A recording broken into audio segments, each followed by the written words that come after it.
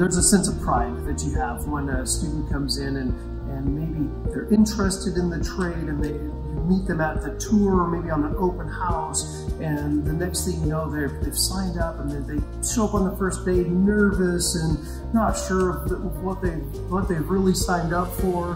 And then as things progress and they get used to the routine routine here at school um, they really start to blossom into who they're going to be as a machinist. And you see that aha moment, you know, when they really finally understand why they're doing something and what they're doing, and, and they're taking concepts from the classroom and applying them in real world machine shop situations like we have in our, in our lab. I look forward to passing on the trade. I look forward to teaching the, the younger group to, to come in here and run this equipment and to be able to produce things, fix things, manufacture things, problem solve, uh, program computers, do some fairly high-end math. We, we do trig, we do geometry, we do algebra.